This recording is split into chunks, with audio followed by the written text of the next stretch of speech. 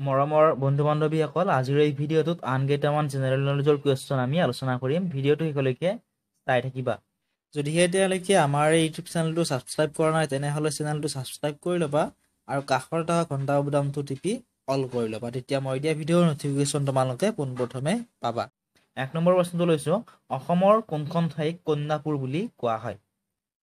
উত্তৰটো হ'ব অসমৰ তেজপুৰ তেজপুৰক। কন্যাপুৰ বুলি কোৱা হয়। দুই নম্বৰ প্ৰশ্ন নৰনাৰায়ণৰ আহোম ৰাজ্য আক্ৰমণ কোন চনত হৈছিল বা কিমান চনত হৈছিলে? উত্তৰটো হ'ব নৰনাৰায়ণৰ আহোম ৰাজ্য আক্ৰমণ হৈছিলে পোন্ধৰশ বাষষ্ঠি চনত। নেক্সট প্ৰশ্ন আটাইতকৈ বেছি পৰিমাণৰ নিৰ্মল পানী ক'ত পোৱা যায়? উত্তৰটো হ'ব আটাইতকৈ বেছি পৰিমাণৰ নিৰ্মল পানী মেৰুৰ বৰফ আৰু হিমবাহত পোৱা যায়। পাঁচ নম্বৰ প্ৰশ্ন গুৱাহাটী সন্ধি কেতিয়া স্বাক্ষৰিত হৈছিল? উত্তৰটো হ'ব ওঠৰশ তেত্ৰিছ চনৰ দুই মাৰ্চ তাৰিখে গুৱাহাটী সন্ধি স্বাক্ষৰিত হৈছিলে। ছয় নম্বৰ প্ৰশ্ন সমতাৰ অধিকাৰ কিমান অনুচ্ছেদৰ পৰা কিমান অনুচ্ছেদলৈ আছে?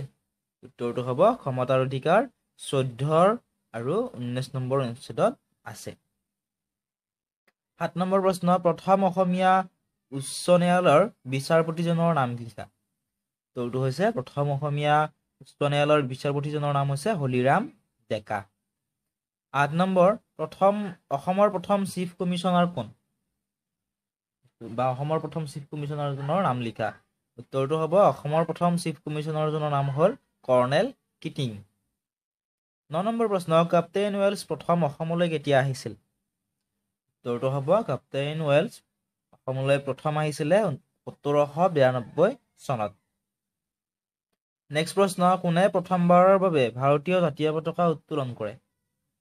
কোনে প্ৰথমবাৰৰ বাবে ভাৰতীয় জাতীয় পতাকা উত্তোলন কৰিছিল? উত্তৰটো হ'ব জৱাহৰলাল নেহৰুৱে। প্ৰথমবাৰৰ বাবে ভাৰতীয় জাতীয় পতাকা উত্তোলন কৰিছিলে।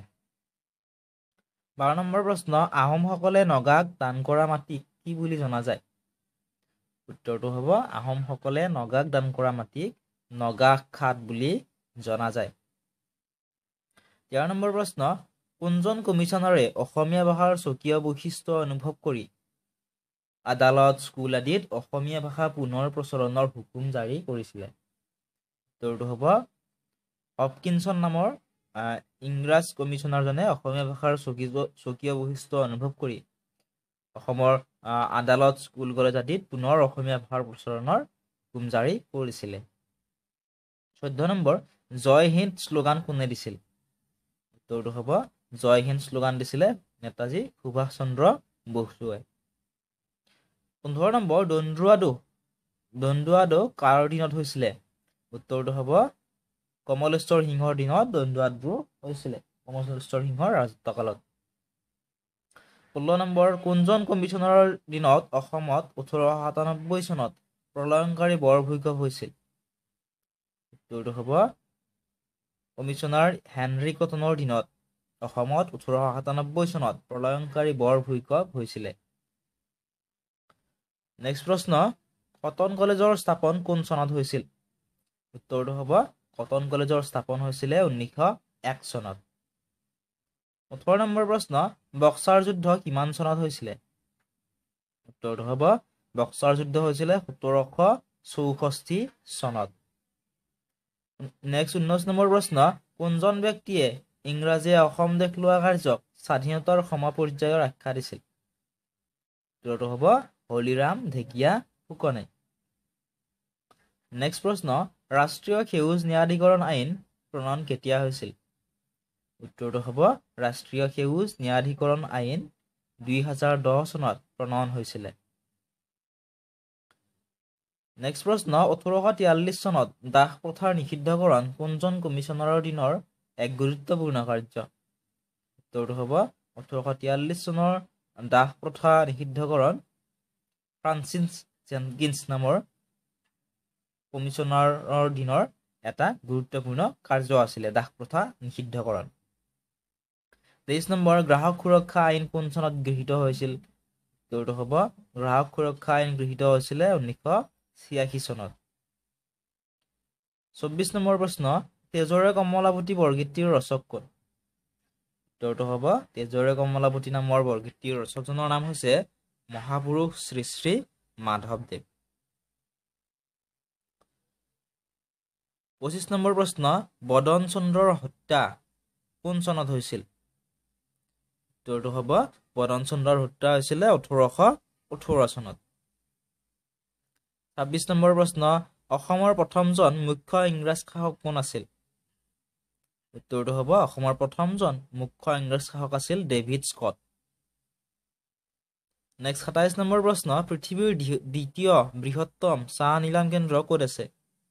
উত্তৰটো হ'ব পৃথিৱীৰ দ্বিতীয় বৃহত্তম চাহ নিলাম কেন্দ্ৰ আছে ভাৰতত। আঠাইছ নম্বৰ কলিতা ৰজা বুলি কাক জনা গৈছিল? উত্তৰটো হ'ব কলিতা ৰজা বুলি মণিৰাম দেৱানক জনাই গৈছিলে।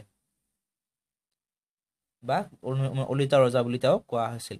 ঊনত্ৰিছ নম্বৰ প্ৰশ্ন কাৰ দিনৰ পৰা ভাৰতত অসামৰিক সেৱা আৰম্ভ হৈছিল? উত্তৰটো হ'ব লৰ্ড কৰ্ণৱালিছৰ দিনৰ পৰাই ভাৰতত অসামৰিক সেৱা আৰম্ভ হৈছিল। ত্ৰিছ নম্বৰ প্ৰশ্ন কোনখন জিলাত মণিৰাম দেৱানৰ জন্ম হৈছিল? উত্তৰটো হ'ব মণিৰাম দেৱানৰ জন্ম হৈছিলে শিৱসাগৰ জিলাত। একত্ৰিছ নম্বৰ প্ৰশ্ন জালিয়নৱালাবাগৰ হত্যাকাণ্ড জালিয়নৱালাবাগৰ ঠাইখিনি ক'ত অৱস্থিত? উত্তৰটো হ'ব জালিয়নৱালাবাগ ঠাইখিনি পঞ্জাৱত অৱস্থিত। নেক্সট প্ৰশ্ন ঊনৈছশ বিয়াল্লিছ চনৰ ভাৰত ত্যাগ আন্দোলন ক'ৰ পৰা আৰম্ভ হৈছিলে? কোনখিনি ঠাইৰ পৰা আৰম্ভ হৈছিলে? ঊনৈছশ বিয়াল্লিছ চনত হোৱা ভাৰত ত্যাগ আন্দোলন উত্তৰটো হ'ব মুম্বাইৰ পৰা আৰম্ভ হৈছিল তেত্ৰিছ নম্বৰ প্ৰশ্ন উত্তৰ পূৰ্বাঞ্চলত ইংৰাজৰ সম্প্ৰসাৰণ নীতি পোনপ্ৰথমে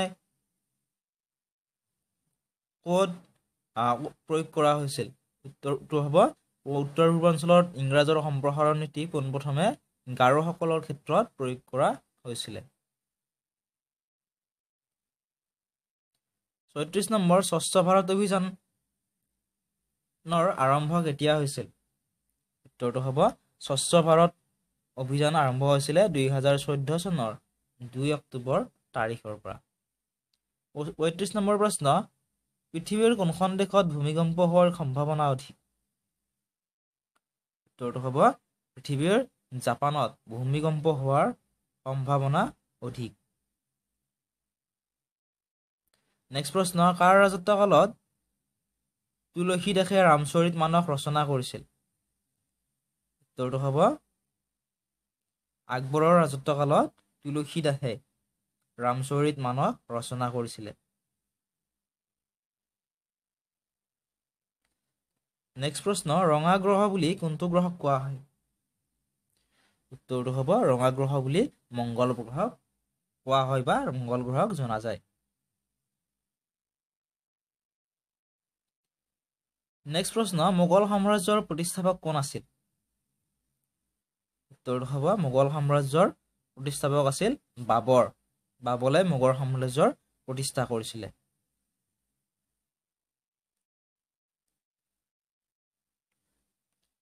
ঊনত্ৰিছ নম্বৰ হিউমাছ কি? হিউমাছ কি? মাটিত থকা মুগা বৰণৰ অংশ এই অংশতে মাটি সাৰুৱা কৰে। আৰু সাৰুৱা মাটিত খেতি ভাল হয়। গতিকে মাটি সাৰুৱাত হিউমাছে মুখ্য ভূমিকা লয়। নেক্সট প্ৰশ্ন ইউ জি চি কিমান চনত স্থাপন হৈছিল? উত্তৰটো হ'ব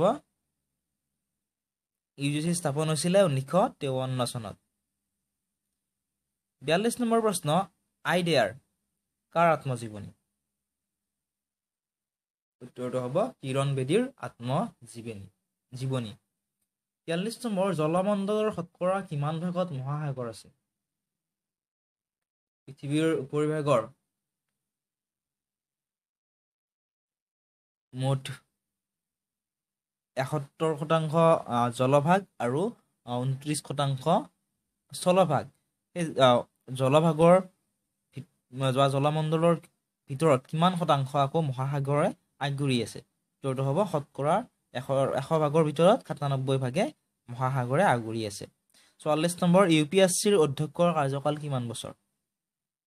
উত্তৰটো হ'ব ইউ পি এছ চিৰ অধ্যক্ষৰ কাৰ্যকাল হৈছে ছয় বছৰ। পঞ্চল্লিছ নম্বৰ ভাৰতৰ প্ৰাচীনতম গীৰ্জা কোনখন ৰাজ্যত অৱস্থিত? উত্তৰটো হ'ব ভাৰতৰ প্ৰাচীনতম গীৰ্জা কেৰেলা ৰাজ্যত অৱস্থিত। গতিকে এইখিনিয়ে আছিল আজিৰ এই ভিডিঅ'টোত। আগৰ ভিডিঅ'বিলাক যদি চোৱা নাই লিংক ডিছক্ৰিপশ্যনত দিয়া আছে। লগতে এনেকুৱা ধৰণৰ ইম্পৰ্টেণ্ট নোটছ আৰু পি ডি এফবিলাক আমাৰ ফেচবুক আৰু টেলিগ্ৰাম গ্ৰুপত দিয়া হয়। ডিছক্ৰিপশ্যনত লিংক দিয়া আছে তোমালোকে ফ'ল' কৰি ল'বা।